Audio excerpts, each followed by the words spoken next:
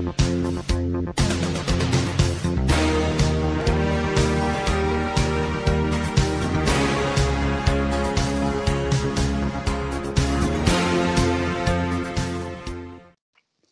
boa tarde a todos. Vamos dar início à nossa, à nossa reunião ordinária, é, sessão ordinária de número 19, barra 2021. Hoje é 18 de maio de 2021, são 14 horas e a reunião está sendo realizada online. Item 1 da nossa pauta, a apreciação da minuta da ata de número 18. Alguma Algum comentário a respeito? Eu tenho uma observaçãozinha.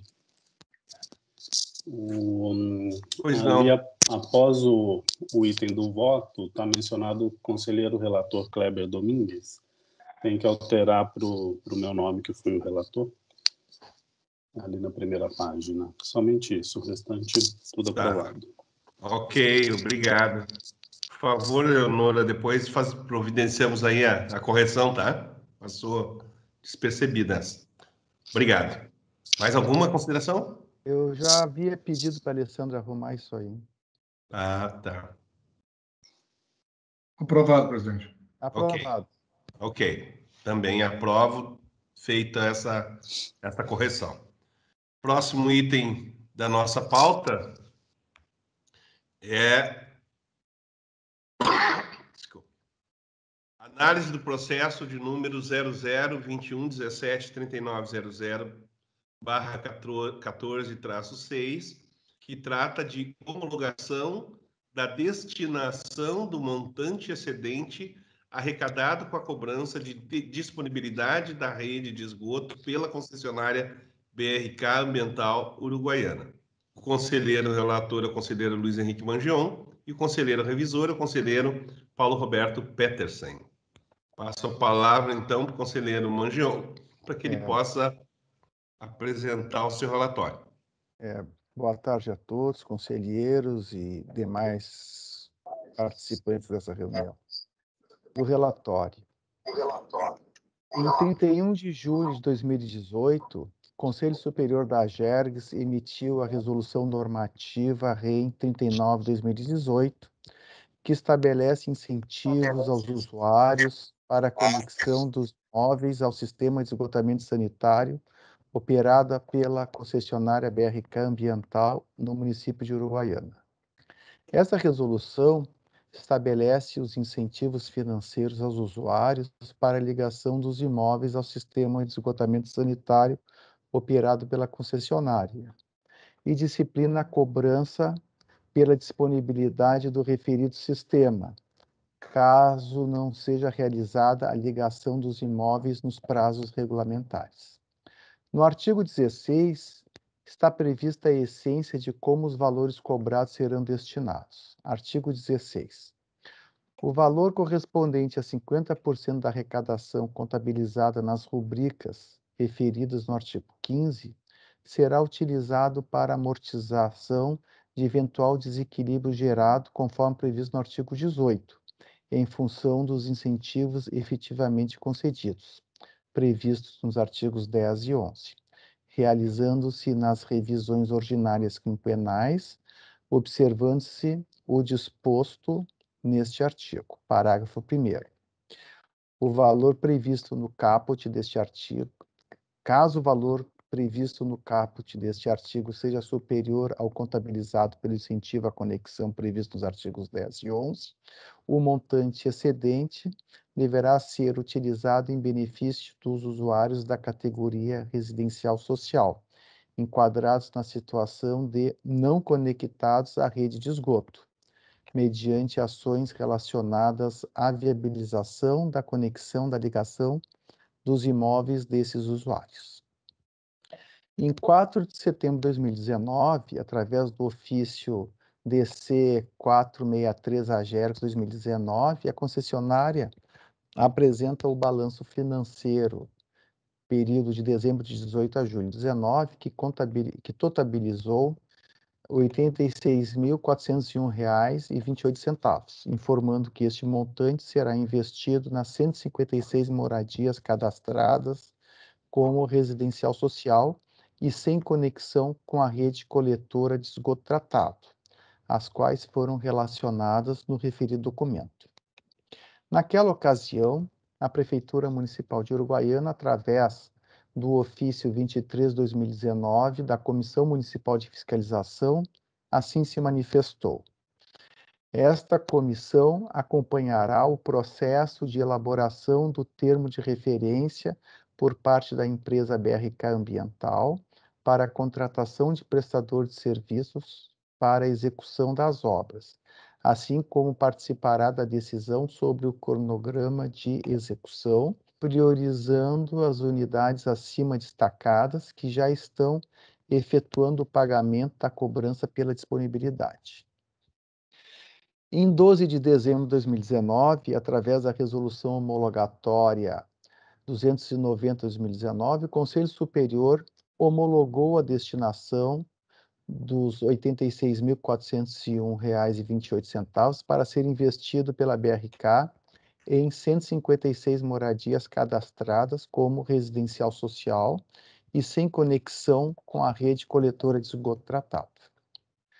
Através do ofício é, CG 34, AGER 2020, de 21 de janeiro de 2020, a concessionária apresenta mês a mês o balanço dos valores concedidos pelo incentivo, os valores arrecadados pela cobrança por disponibilidade e os valores provisionados no período de agosto de 2018 a dezembro de 2019, conforme estabelecido na regulamentação.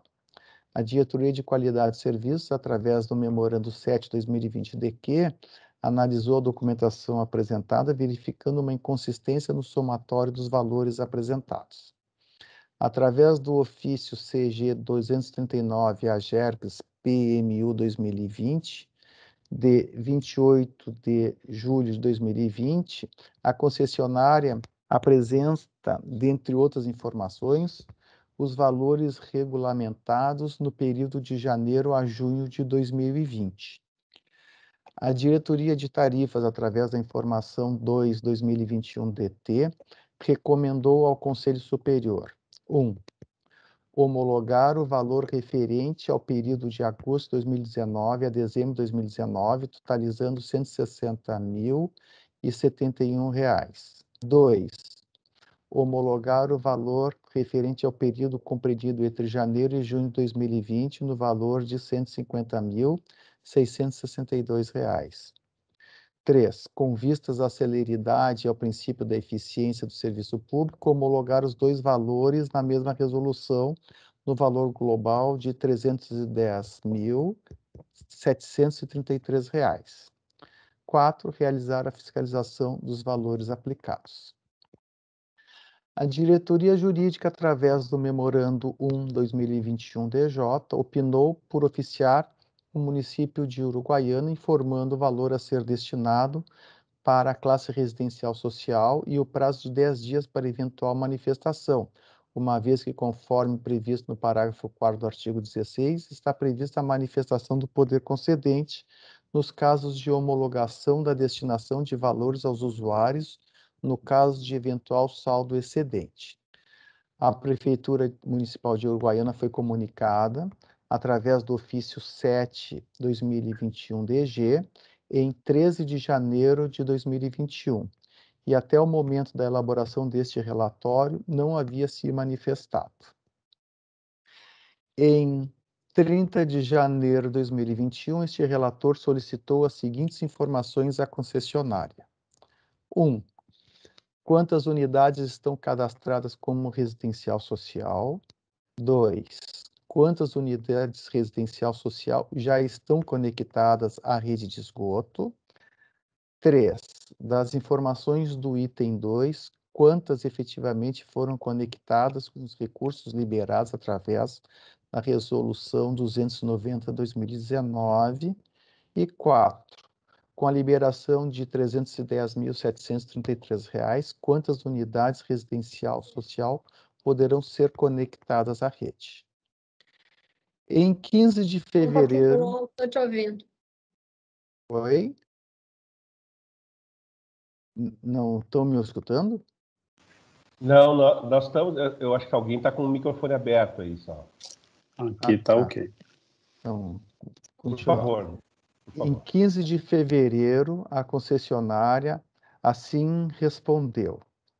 Atualmente constam no cadastro da concessionária 1.070 economias cadastradas como residencial social. No entanto, é importante esclarecer que este número pode sofrer variações de um mês para o outro, de acordo com as regras previstas no regulamento para a prestação de serviços. 2. Atualmente se encontram conectadas 900 economias. 3. Em razão das circunstâncias extraordinárias e da gravidade sem precedentes provocado pela pandemia de Covid-19, informamos que ainda não foi possível viabilizar as ações necessárias para a ligação para que aqueles usuários relacionados como residenciais sociais ainda não conectados à rede. Eu vou ler de novo. Informamos que ainda não foi possível viabilizar as ações necessárias para aqueles usuários residenciais sociais ainda não conectados à rede de esgoto. 4. Inicialmente, é extremamente importante destacar que os recursos financeiros em questão se encontram disponíveis em conta especificamente criada pela concessionária para essa finalidade.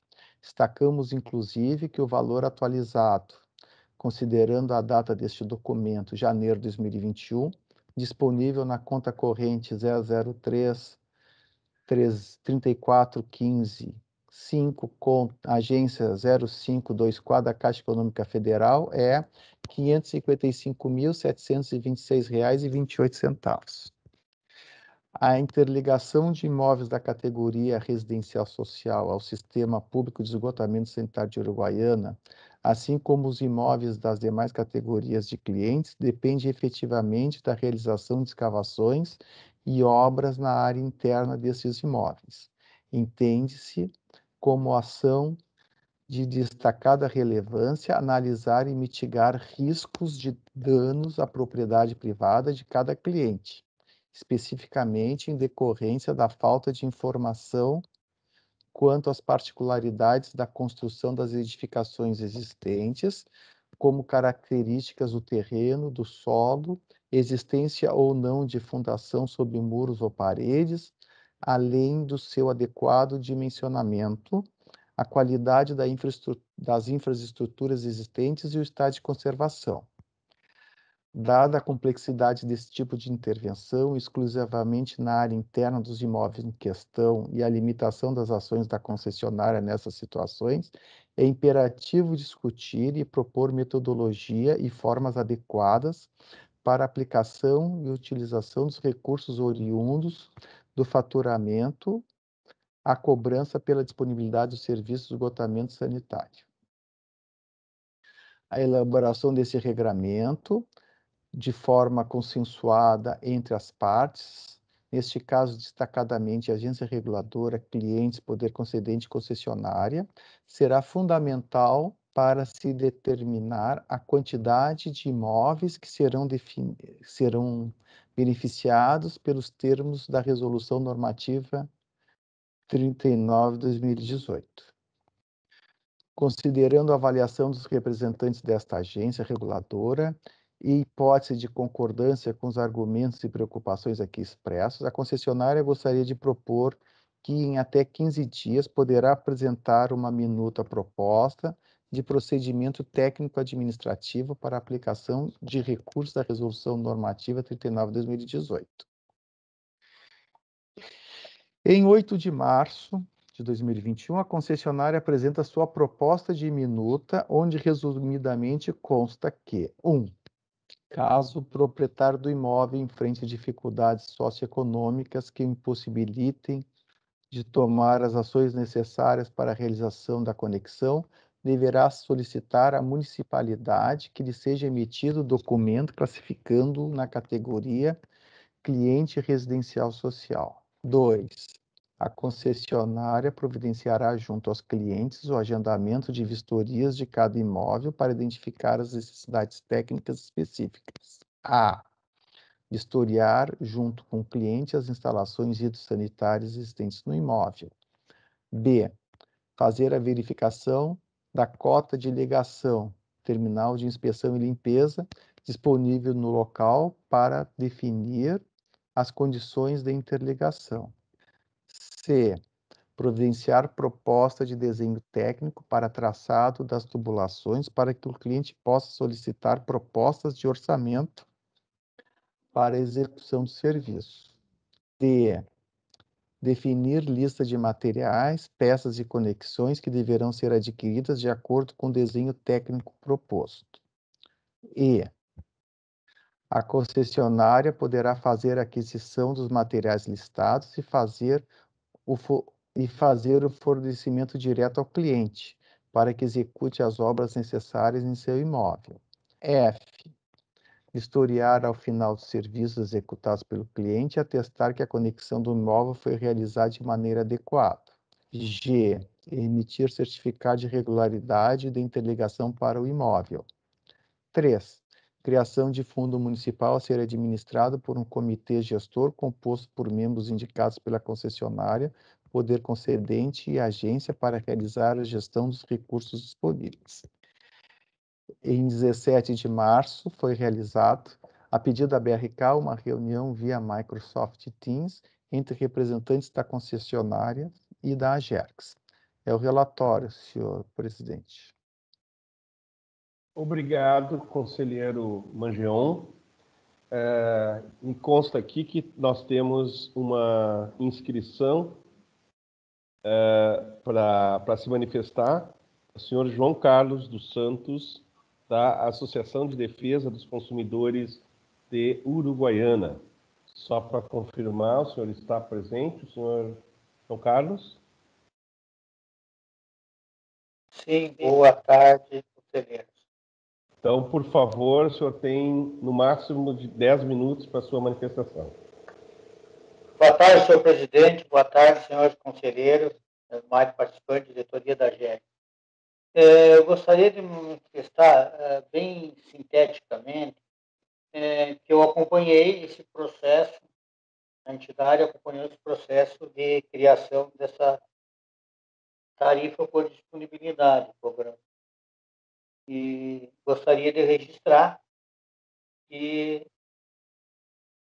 é, é, a essa maneira de cobrança deixando claro que a, a associação defende é, os consumidores, mas também o meio ambiente entende perfeitamente é, o objetivo do esgotamento sanitário.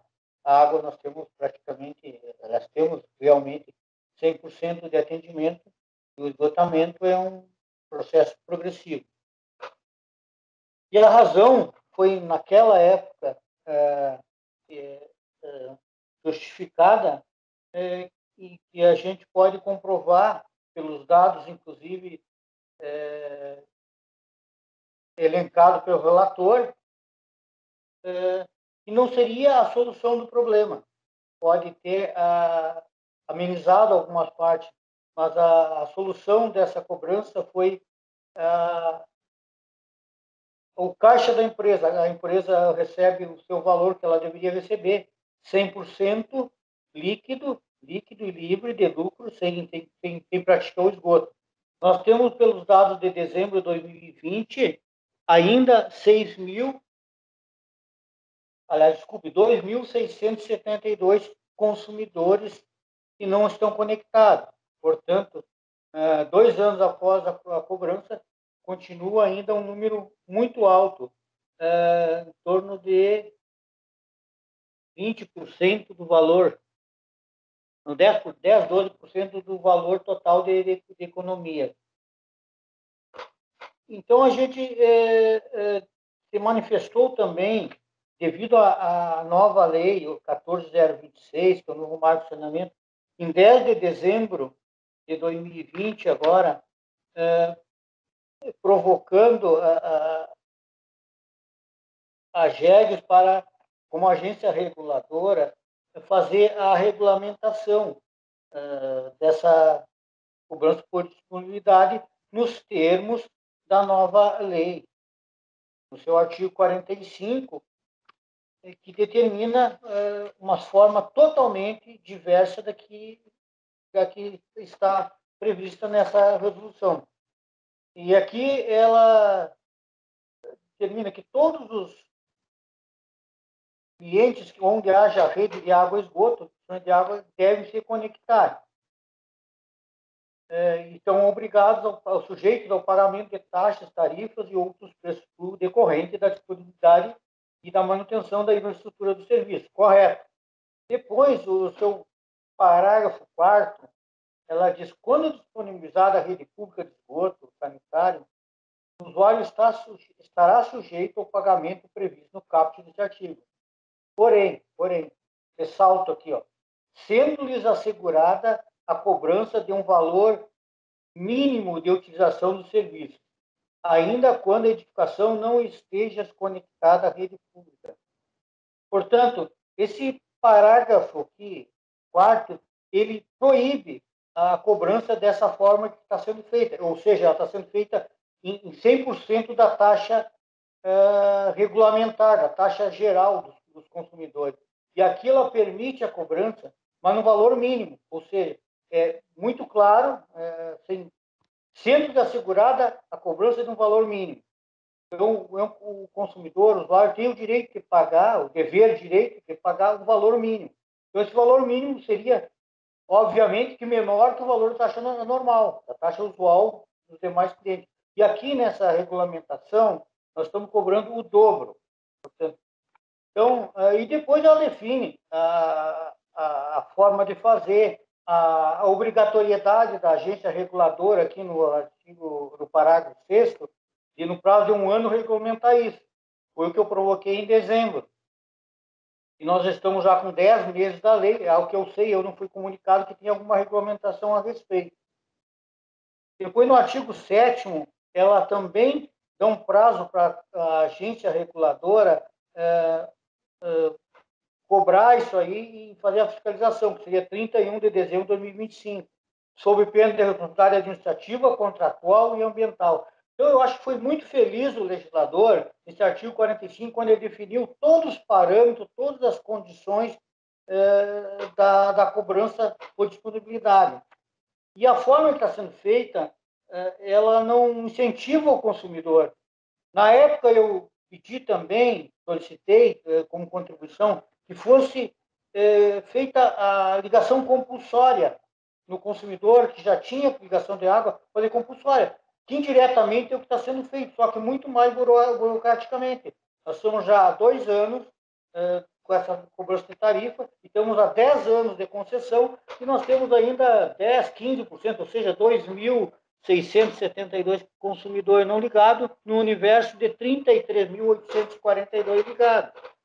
É, então, é, basicamente, é essa a dificuldade da, da eficiência dessa taxa de cobrança.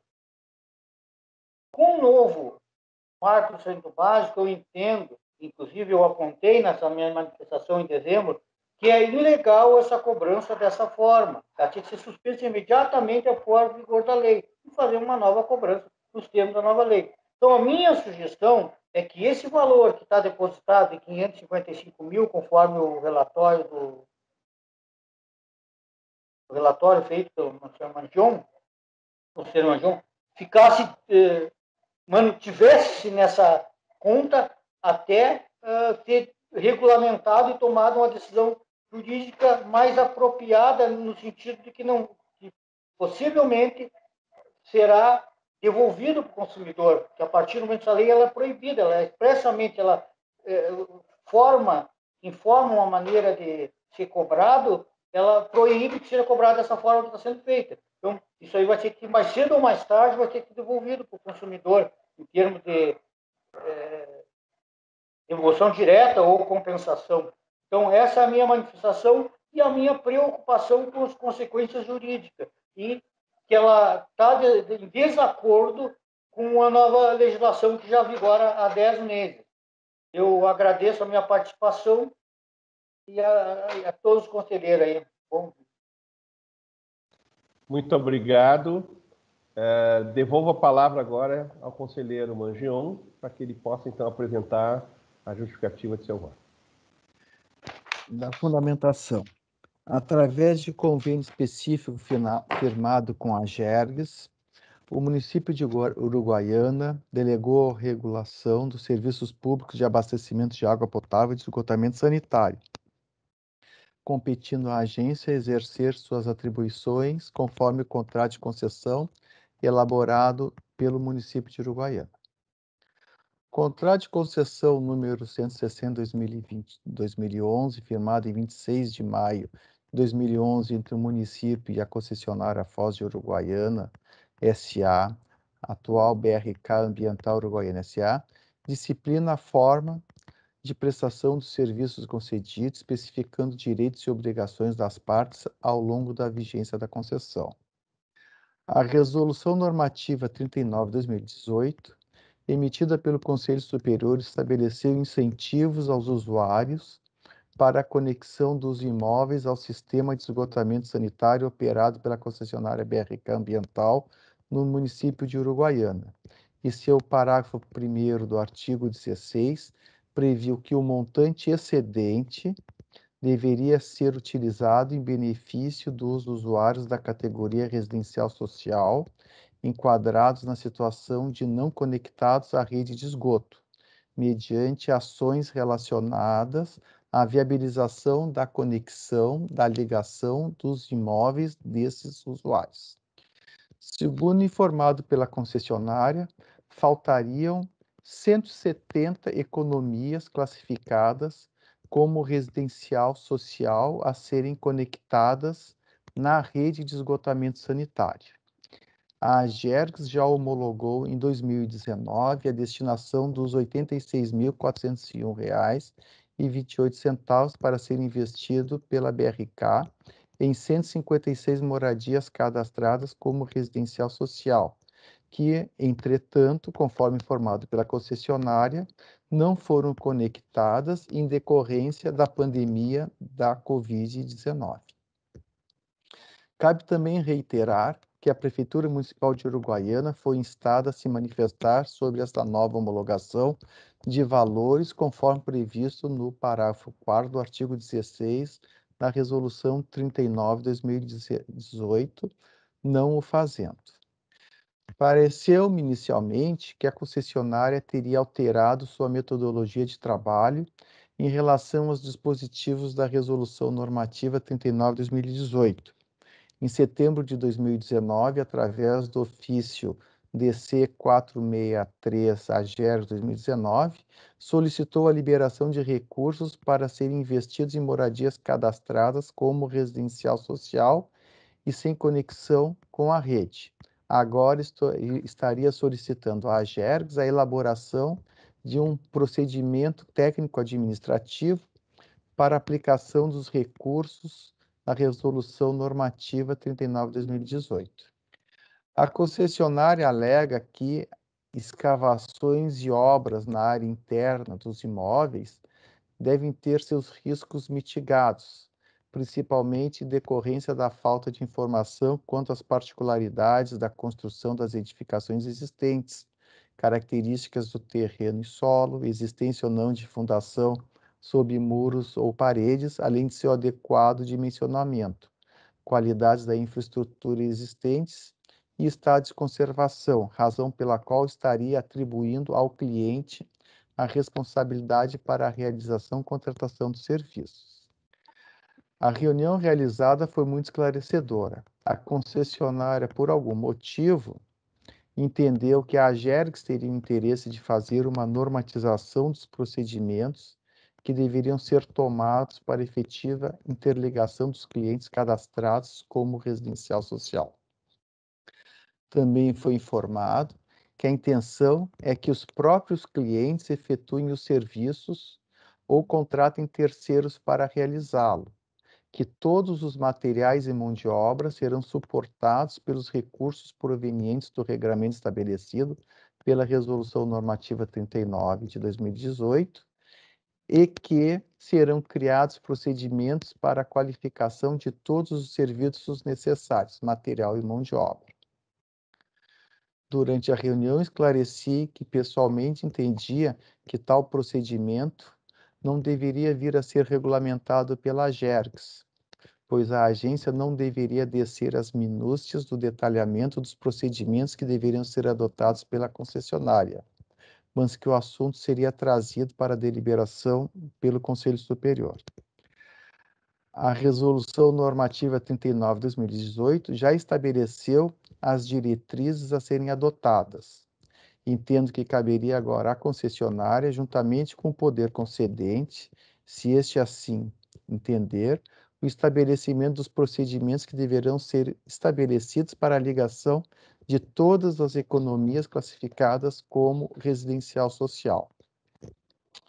A Comissão Municipal de Fiscalização do Contrato já havia se manifestado em 2019 que acompanharia o processo de elaboração do termo de referência por parte da empresa BRK Ambiental para a contratação de prestador de serviços para execução das obras, assim como participaria da decisão sobre o cronograma de execução.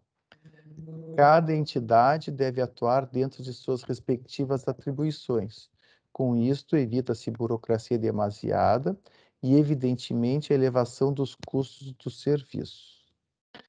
Aproveito para louvar a intenção anunciada pela concessionária de criar um grupo gestor composto por BRK, Prefeitura Municipal e sociedade civil organizada e o Ministério Público para efetuar o controle, a prestação de contas e permitir a transparência dos gastos desse recurso que, em última instância, é público. Desta forma, considerando as manifestações da concessionária contidas no ofício CG 34 Agergos 2020 e CG 239 Agergs PMU 2020, que é apresentar o balanço financeiro e a destinação dos montantes arrecadados relativos à cobrança pela disponibilidade da rede de esgoto e as manifestações emitidas pela área técnica da GERGS, voto por 1. Um, homologar a destinação do valor de R$ 310.733 a ser investido pela BRK Uruguaiana em moradias cadastradas como residencial social e sem conexão com a rede coletora de esgoto tratado. 2. Determinar que a área técnica da GERGS é, fiscalize os valores aplicados. E 3. Comunicar à concessionária o poder concedente da presente decisão. É como voto, senhor presidente e senhores conselheiros. Obrigado, conselheiro Mangion. Passo a palavra para o conselheiro Paulo Roberto Petersen, o conselheiro revisor. Em conformidade com o disposto do regimento interno da GERS, revisei o relatório e confirmo a sua correção quanto à descrição dos fatos e a fundamentação das partes. Quanto ao mérito, reporto-me a fundamentação apresentada pelo conselheiro relator, acompanhando seu voto. Muito obrigado, conselheiro Petersen. Uh, agora, a parte das discussões, né? Eu passo a palavra, abro a palavra, caso o conselheiro Alexandre queira se manifestar. Ah, nenhum comentário, presidente. Tá. Obrigado, conselheiro. Então, eu passo, devolvo a palavra ao conselheiro Mangion para que ele possa, então, uh, confirmar o seu voto. É, Conselheiro, antes de confirmar o meu voto, eu só queria informar o seu, seu José João Carlos, João Carlos, que eu vou verificar junto à direção esse essa correspondência que ele diz ter encaminhado no, no final do ano, que pelo menos até onde eu sei, não chegou no conselho. Eu mantenho o, o voto, conselheiro. Ok, muito obrigado, conselheiro Mangion. Conselheiro Petersen. Acompanho o voto do relator. Obrigado, conselheiro Alexandre. Também acompanho o voto do relator. Obrigado. Também acompanho o voto do relator, o que faz com que seja aprovado o relatório por unanimidade. Passamos para o próximo item da nossa pauta. É uma deliberação sobre a realização de audiência, consulta pública, referente ao processo número 000-990-3900-20-7, que trata de revisão tarifária extraordinária e reajuste do transporte intermunicipal de passageiros de longo curso. O conselheiro relator é o conselheiro Alexandre Porce. É, algum comentário? Por favor, conselheiro. Ah, sim, um esclarecimento e, e também vou pedir para depois da minha fala, se o Carlos puder complementar. Eu estou relatando este processo e é uma revisão extraordinária ali do longo curso e o entendimento que me parece da, da, área técnica é de que, como não há alteração estrutural na metodologia que está sendo aplicada, não haveria necessidade de uh, realizar uma, uma, audiência pública. Então, a recomendação seria de dispensa dessa audiência pública. O Carlos, pode, por favor, esclarecer ou complementar? Boa tarde, boa tarde, conselheiros. É exatamente isso. A gente está propondo na nessa revisão que se, a, a, se adeque os coeficientes do DAE e da GERES. E, e, qualquer alteração que a gente que foi discutida com relação à, à Comissão de Estações Rodoviárias seja tratado em outro expediente, mas não nesse. Então, assim, a estrutura manteria-se a mesma de, de custos e de coeficientes tarifários, era só para acertar essas condições.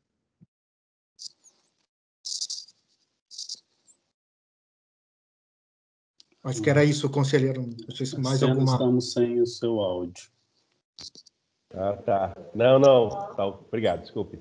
Não, não, só perguntava se tinha mais alguma coisa a agregar, a acrescentar. Conselheiro Alexandre, a partir Não, da... não, é somente observação okay. mesmo, que a indicação é pela dispensa. Ok, muito obrigado. Obrigado, Carlos. É, presidente. É, eu, eu, eu acho que seria com, conveniente a gente ouvir a, a interpretação do, do diretor jurídico sobre esse assunto, né? ver se ele tem conhecimento sobre isso e que possa nos orientar também. Perfeito. Uh, o nosso diretor Vinícius está por aí, não? Sim, sim, por favor. estou aqui. Pois não. Bom, uh, com relação aos itens que são ali levantados na informação 17 da diretoria de tarifas, em especial os três primeiros itens ali da primeira parte que fala da revisão, nós temos né, que uh, a nossa própria norma número 49, a nossa resolução normativa 49 de 2019, ela diz que a realização de audiência pública não é obrigatória quando o ato tiver os, as seguintes características. Inciso 5. Revisões ordinárias ou extraordinárias destinadas exclusivamente a contemplar alterações legais, né, que nós temos aí a questão do ICMS, bem como aquelas resultantes de decisão judicial, que não é o caso, muito embora tenha sido referido ali a questão da decisão do TCE, aquilo ali vai ser tratado em outro momento, mas eventualmente, se fosse tratado nesse processo, também dispensaria a realização de uh, audiência pública. E também temos, por fim, o, o inciso 6, que fala de reajustes tarifários cujos, índices estiverem previstos em contratos ou em resolução específica da GERGS que os estabeleça. E ali nós temos a resolução decisória número 568, que estabelece, então, esses índices para os anos de 2020, 2021 e 2022, se não me engano. Perfeito. Quer dizer, temos todo o respaldo para estarmos é, caminhando nessa direção. Né? Perfeito. Ok. Mais alguma questão a esse respeito? Então, bom, então com isso nós estamos concluímos as deliberações e por último abro a palavra para algum assunto geral que porventura queiram eu, eu presidente, eu, eu, não sei se a gente não deveria formalizar a deliberação da proposta do sim, conselheiro. Ah, perfeito. Todos aprovarem, presidente. Perfeito, perfeito. Tá, então me corrijo aqui. Então, na verdade, eu pergunto aos senhores conselheiros se todos são pela deliberação. Eu acolho a, a, proposta do conselheiro Alexandre Porce. Também apoio, presidente. Conselheiro Peterson. Também apoio, presidente. Obrigado, conselheiro Forte, obviamente, e também, apo... também estou de acordo, então está homologado. Obrigado. Agora sim, por fim, Então, passamos para os assuntos gerais e abro a palavra se temos algum assunto a, a eu, ser trazido. Eu tenho dois. Por favor, é. É, o primeiro é uma, uma notinha que saiu no grupo do WhatsApp aí que, da, que a Niusca disponibilizou para a gente sobre o, o DEMAI e regulação do, do, do, do, sistema de saneamento do município que, é, pelo entrevistado ali, falando que a Gergs não poderia fazer a regulação do município porque ela só pode fazer de concessões é, estaduais. É, o que não é o caso, né? É, Uruguaiana é, é, bem o um exemplo disso, que a gente regula o saneamento municipal. Então, a minha sugestão seria a gente novamente tentar conversar com a prefeitura de Porto Alegre e fazer os esclarecimentos devidos e se colocar à disposição tanto da, da, da prefeitura quanto do DEMAI é, esclarecendo que a gente tem condições, competência para fazer a regulação é, de forma adequada. Perfeito. E o segundo assunto é que novamente vai. Pois Desculpa, não? só para. Claro. Eu acho, só para, já que vai mudar de assunto, nenhuma concessão, pelo menos que nós temos até hoje com relação a esse, tirando a questão da PPP, né, é concessão estadual na área de saneamento, todas elas são municipais, os municípios que são os poderes concedentes. E por uma consequência aí, por uma casualidade, nós acabamos regulando tudo, né?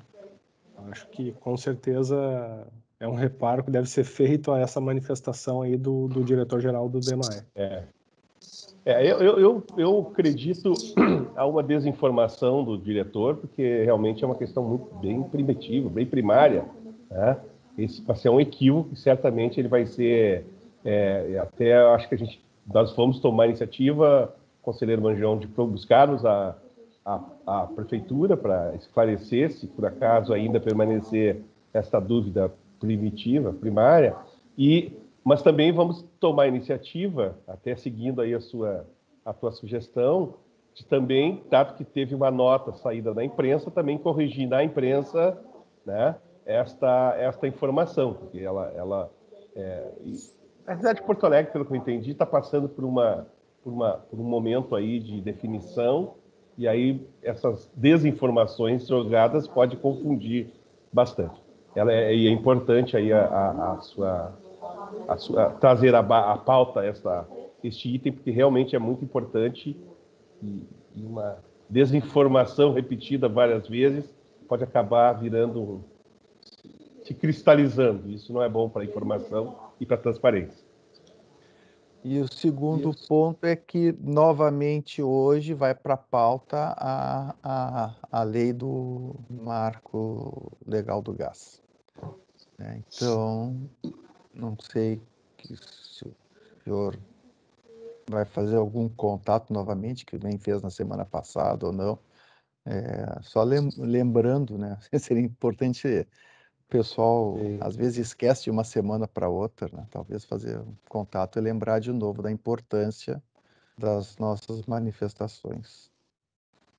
É, eu tenho certeza que em nome da inteligência, da transparência e da sustentabilidade dos processos de concessão aqui no Estado, as observações que nós fizemos sejam é, consideradas de forma. Eu tenho certeza que isso vai acontecer. Mas, de qualquer forma, a lembrança também é absolutamente pertinente. É isso? Eu não tenho mais alguma mais questão, senhor?